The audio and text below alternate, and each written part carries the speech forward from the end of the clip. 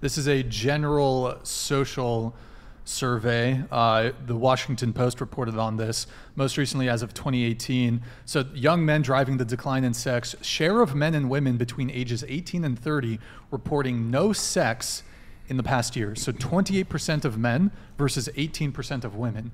I think this graph would essentially prove that there are more women engaging in casual sex than there are men. There's also something from Pew Research.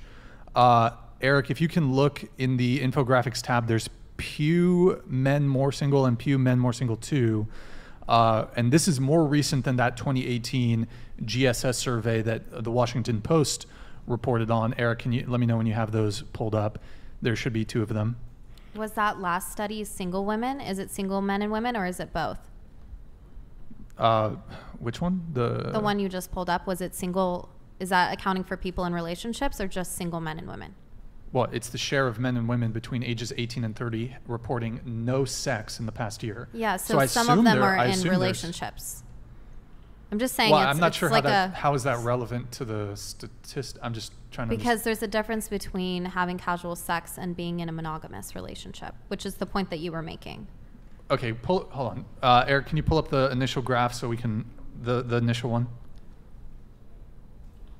Oh, did you X out of it? Uh, so it it doesn't really differentiate, but I mean, I, I suppose some of these people are in sexless relationships, but it, it's talking about reporting no sex in the past year. So I'm trying to understand where the relation, whether if they're in a rela- uh, relationship or not, has any bearing on this specific infographic. Because you, the point that you were making was that women are, this is what you said, that women are more promiscuous than men.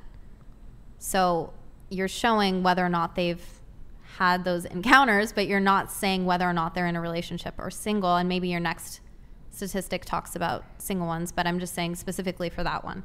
So I'm just you're you're the case that you were making was that women are more promiscuous than men, and I want to know the statistics specifically on how single women are more promiscuous. I think But, this but is the graph that the graph just showed that there are a greater proportion of women who have reported having sex than men. Yeah, but But that could be women yeah, in relationships. Exactly. The, Yeah. But, so but could be- typically in a relationship, you've paired off one to one. Therefore, if there if there's more, there's a larger proportion of women who are, are engaging. It's it's plausible that there are. Well, I think this is actually the case that there's women who think they're in relationships with a guy, when really that guy has multiple women. But but that would suggest that I mean, well, in any case, let's see the other infographic.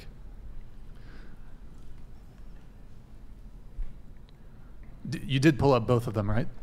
Okay, the share of single men in the US who are looking for dates or a relationship has declined since 2019. Um, okay, so that shows that. Wait, the share of single uh, percent of percent of single U.S. adults who say they are looking for a committed romantic relationship and or casual dates. So single men, single women, sixty-one percent. This is in 2019. Uh, I think the other one's actually more important, but so single men 50% versus single women 30. I think it's the other one that's more relevant, uh, the number two. Okay, three in 10 Americans report being single, but this varies by age, and this next one's important by gender. So, three in 10 Americans report being single. Between the ages of 18 to 29, 63% of men are reporting being single. Oh, fuck. Alvin Okay. Donated $100. Stay safe, even if those stats may be true. That does not help address the declining marriage rates. Men shouldn't be getting married just to prove a point that they won't get depression or be a criminal, especially when you consider the financial risks. Yo, Alvin Sam, good to see you in in the chat. Thank you, man. Um, yeah, I will say there's a lot of misinformation about divorce rates in the U.S. A lot of people will repeat this trope that 50% of marriages in, in, in the U.S. end in divorce. It's actually around 45%. And then if you look even deeper at that, if you look at first time, mar- so if you a man and a woman who are both getting married for the first time, that national divorce rate average is actually 35%. Because if people are getting married let's say you're on your second marriage, your divorce rate goes up from 44 on average, sorry, from 35 on average up to 63. And then if it's your third marriage, your divorce rate goes up to around 70 or 71%. So this this 44% national average stat is getting sort of inflated by people that are on their second or third divorce, or people that are, sorry, they're getting divorced super quickly and sort of flippantly. Um, and then it's sort of different by various socioeconomic or racial demographics. If you look at two, uh, like my wife and I are both white, we both got married for the first time. We're not on our second marriage or second divorce. Um, our national average divorce rate is 13%. So suddenly you start sort of looking at the nuance of these divorce rates, and it's like, well, it's actually maybe not as bad as you think it is. We all are thinking 50%. It's actually, for my demographic, it's 13%. It's not as bad as you've sort of been ingrained to think it is, because these numbers are, like I said, they're sort of stat padded by people that are serially getting divorced over and over and over again. I think there's a certain amount of um, anti-marriage uh, and anti-family propaganda in the country, sort of trying to compel you guys from not getting married. But what's that? Are you the propagandist? I, I You're am, the propagandist. I'm the uh, anti-marriage propaganda arm, Yeah. propaganda minister. Um, in any case, um, let, us uh, Alvin Sam, thank you very much for your uh, two uh, TTSs there. Really appreciate your support. Good to see you in the chat, man. Let's pull back up that stat I was kind of getting to. So the big one is gender here. Three in ten Americans report being single, and that that's just taking everybody into account. But it varies by age and gender. If you look at ages 18 to 29, if you go uh, to about the fourth grouping down, it says men ages 18 to 29 are reporting being, uh, 63% are reporting being single. In that same age cohort for women, just below it, ages 18 to 29, only 34% are reporting being single. So what's going on there? Um, that that's very shocking. That in that their exact same age cohort, you have women who are not single, but you have a large swath of men who who are. So it could be explained by, for example, perhaps. Um, you know, women might be dating uh, an older, older age demographic. Women, generally speaking, they, they, it skews, I think, on average, maybe two, three years older than them, typically, at least for marriage. Um, but uh, it would suggest to me that you have a not minimal cohort of women who are dating a small pool of men. I think you've seen a lot of data come out of Tinder or Only, uh, what's it called? Uh, not OnlyFans. OkCupid, this dating site, where it sort of highlights this. This is to your point, this sort of sexually hypergamous situation where it's like the top. This is your Giga Chad, your eight out of 10, nine out of 10, 10 out of 10 guys that are having free range in having sex with women from. Men are not so picky sexually, right? A 10 out of 10 guy will sometimes be in the mood to have sex with a 5 out of 10 girl. Sure. Sure. whatever. It's a bad day, whatever. And so, yeah, you're having the top Giga Chad type of guys that are sort of having free reign amongst all of the girls. And then that means that 70 or 80% of men are not having access to these women. I, th- I think what what's happening is is you have like you have some hyper sexual, hyper promiscuous men at the very Yeah. top, and then you have some like mid m- medium tier. Uh, and that's a small percentage of men that are like hyper promiscuous, where they'll like, you know, you'll have some women like that too. Then you'll have a higher proportion of women who are like, let's say, medium levels of promiscuity. And then you'll have like a huge swath of men that are basically incapable of engaging in hookup culture or promiscuity simply by virtue, simply out of necessity. They, they can't engage in hookup culture or promiscuity because they just don't have the looks or the charisma or you know whatever whatever it may be. And I just the last thing I'd point out, um, if it if it was the case that there's equal uh, levels of promiscuity between men and women, how would you then explain, for example, the incel phenomenon, which doesn't exist in women? What's the incel phenomenon? Are you are you familiar with incel? Yes. Oh, in, incel, so that stands for involuntarily celibate. So basically, men who uh, sometimes they uh, they Can't add like an uh, like how a period of time for it, but basically men who are involuntarily celibate, despite their want and desire to have a sexual relationship with a girl, they're just in either they're unattractive or they they are severely lacking on some social front or you know whatever it may be. They cannot get sex. I think what's more sad about this conversation is that we're living in an era where promiscuity, multiple partners, engaging in casual sex is somehow glorified over having a monogamous relationship. So I don't know about the women here. I feel like we've kind of been on this tangent for a little bit, but I, I'm genuinely curious. Like, do you, do each of you want to find a life partner, to find somebody that you can be vulnerable with, to give your love to, to mutually take care of each other? Well, I have a question for you. Do you think monogamy is like the right way, like the only way it should be? Like, do you not think non-monogamous relationships are I think okay? I no, I don't think non-monogamous relationships are okay, and here's why. I think that in order to be fully vulnerable and to give yourself fully to into your relationship, let's put it that way, you ha- it has to be with one person. And when you're in a monogamous relationship, it opens room for full sacrifice, full love, full giving of the other person. And it allows us, especially as women, to be fully vulnerable with our man, knowing that he's going to take care of us and that we don't have to put up this, you know, protection over our, our hearts and over, you know, us as individuals and our spirits. So I think that yes, relationships need to be monogamous. And again, if we look at the satisfaction and the fulfillment that people get out of relationships, statistically, partners feel happier and more fulfilled when they're in monogamous relationships. And I'm not saying that Is that a fact? Are we it's just a fact, gonna? actually. It was done by the American Family Study, I believe. But but are we just gonna gloss over our back and forth on the the promiscuity thing? You I know never you did. proved that. So you brought up a statistic that did not talk about. You brought up the sing- singleness, okay? But you said, Well, said Maddie, you're taking sides. No, now. I will say, okay, have a so I do agree. Okay, I do agree that women are more promiscuous, but the stats that you brought up are 63% of men are single. That doesn't mean they're not promiscuous. Right. Can I say something Because only quick? single men can be promiscuous.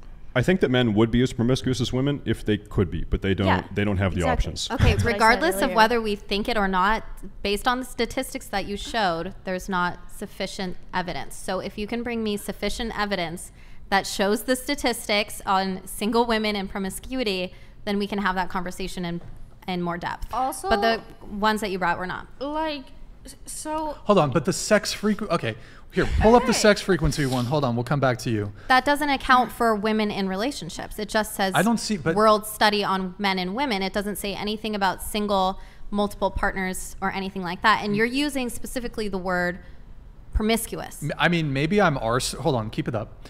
Maybe I'm arsled here, but I'm s- I'm I'm failing to see how your argument about whether you know with What this does with this- promiscuous mean? with this I have specific a, I have a graph. perspective here.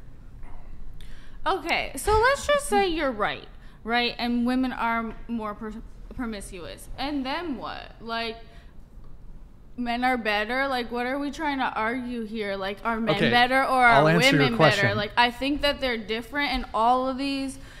All, everything we're talking about is so situational. Like this isn't like such a black and white issue. Like oh, are are women worse or are men worse? Like I feel That- like that's it's r- like pitting them against each other more instead of like talking about like ways that we can try and understand each other and like it's okay for some people to have faults in certain ways and others in other ways. Thank But you okay, for Like we that. can still we could like instead of like the arguing point is, who's is worse, that like it's like then it what? Like- degrades women to say that women are more promiscuous than men. So it's not about who's better. But if you're going to make a How is it? statement How's it about degrading that- women if it, if it's promiscuous, Just true? what does promiscuous mean? What does promiscuity? Promiscuity would uh, essentially, if you, I my view of it would be if you engage in casual sex. Why does that Yes, have so- to be degrading? Pro- though? promiscuity could The also way be, that hold on. he's you engage in casual sex, you have multiple partners, et cetera, et cetera. yeah. I think Yes. men are evolutionarily designed to be more promiscuous. Men men have a higher sex drive. that. Men have a higher sex drive. However, men are less able to to act on said like it, it's much harder for men to secure sex than it is for women to secure why? sex. Is it because women can choose Why? who they sleep with, where men just sleep with anyone? But, but No, it's why just- is it it's- harder standards? Let me okay, here. for men? Why do you think it's harder for men? Women women sleep with who they want, men sleep with who they can. Why do you think that is?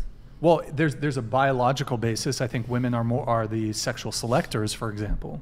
What's But but Like also the- women are more selective. Women are more picky. Like they have standards? It's because for 99 Yes, point, but that- maybe uh, some women are like that because they're worried about being seen as promiscuous are getting judged, so that leads them to be more picky. For all of human history, prior to advent of birth control in what the 1970s, if a woman is having promiscuous sex, there's a very high chance that she'll get pregnant and she'll be tied down to a man that she might not even love. Her body will go through enormous changes for nine months. She'll have to take care of a baby. She'll have to grow a fetus inside of her. That's why, I mean, biologically, female promiscuity is generally not a great thing. That's why women have evolved like not not to want to do that. They want to lock down one man. That's how a woman ought to behave. Which is why generally, if a woman is super promiscuous these Well, days, it's like sort of counter to her biological promiscuity nature. in general is just not a great thing. Un- I agree with But you. But men totally. and women work mm-hmm. hand in So hand yeah, to create like promiscuity. I think we so- can all agree, like anyone going out and being extremely promiscuous is not a good thing. Shut it down. 2024, no promiscuity. Shut it down. Like, get married, have good thing? kids, get know, married, tie the knot. each Say no to promiscuity 2024. Loving each other, being honest with each other, you know, listening, Hell yeah. seeing Yeah. other people's perspectives. You know, that's a good thing. Okay, True. but so I can answer your thing about like it's why not are, a competition, y'all. Okay, it's but not I the men and can- women competition. I can answer your thing as to why we're having this discussion, and it stemmed from this idea that well, men ought to be leaders, and, and it's it's you know men are to to blame for the current state of affairs between the sexes, and I mean my my view is I didn't say that. okay. My view is is that It sounds like you just want to be blamed. I have no idea what you're talking about, but What's it? What I mean, is I can it like? explain it to you. I'm the one blame. I'm a radical man blamer. I blame men to the ultimate degree. I'm a man hater. I hate them. But that's not men good are always because responsible. we actually have a problem in our society where we've and we were kind of talking about this before the show like we've created this society that nonstop bags on men and trashes on masculinity when and I'm I'm s- not saying that all men are perfect. They're certainly not and men have failed society in many ways. But this narrative that masculinity and men are toxic they're bringing everything bad to society uh, is just first of all just I certainly not with true. And it hurts men and also hurts women. This narrative hurts women. Yeah, and like I feel like as a woman who experiences that, I want to try and be more understanding of what that's like for men and not just be like women are the only people who experience that. Like we both experience that in different ways. And I feel like sometimes women's struggle with that gets highlighted more just maybe because what we're going through in this time, but that doesn't mean that like it doesn't exist for men too. well, I'll say I, lo- I look at a lot of this. Oh, oh here we go. Joel, Joel Bell. Bell donated Thank you, Joel. $99. Lady, only 40% of men have reproduced historically, compared to 80% of women. This has been proven through DNA research. A quick Google search will show the studies. Most men won't reproduce. Women are by their very nature more promiscuous than men. Like you okay, can't all right, can't so relate those things to each other you guys promiscuous, so are so ridiculous maybe someone should do an actual study on this and then I bring mean, us the statistics and we can come back and we've- discuss it okay. I will we've say- had we've Then had- what? let let's go back to capability though because that's a big that's Hold a up, big, wait. hold on hold on This is the exact opposite of female promiscuity. If 40% of men are breeding and 80% of women are, that means that it's one man and multiple women more often But, than okay, not. so- That's actually male promiscuity. What are you talking about? That's the opposite of your point you're trying to make. That's one man, two women. oh god That's Yeah, male but- promiscuity. But here, here's the difference: is you could have one man who impregnates 20 women. yep. So you you have you could have like a top tier of men that are capable of sleeping with like a hundred women, but you might have a hundred women who are more promiscuous than the average man. I would say the average woman is more promiscuous than the average man, simply by virtue of the fact that they are more capable. That's the big thing. Capability is a very important component of this discussion. Women Yeah. are more capable of being Why promiscuous. is that a big thing, though? Like. Doc Venabilis Hold donated $100. Yeah, thank you, Doc. Appreciate it. The studies are indeed confounded by access to sex. If the numbers are adjusted by number of partners per sexually active individual, or individual sexual activity rate, then the few sexually active men will win the contest. Word? I feel like everybody's promiscuous. Like Nope. No. we're That's all not yeah, true. we're all just some freaks. And unfortunately Even- that well, unfortunately really. our society I'm- has created that narrative though Right. I'm just like generalizing here, but like ev- I'm just saying like everybody is different. Like we're just I'm just still confused where this argument is going of like well, we're men having a conversation about